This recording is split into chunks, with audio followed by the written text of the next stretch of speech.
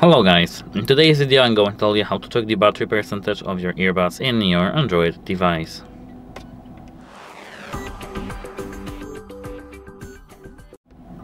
So, at first you need to open the settings. Here, go to the connected devices and now tap this gear icon. Now as I can see here you have active 100% battery. If you uh, look closely there is only one battery percentage, even though we do should have three.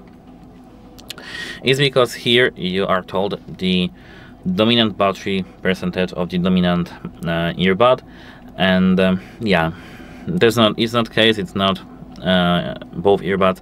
It's just like one dominant earbud. Mostly it's right. And that's it. Hope it helps you and goodbye.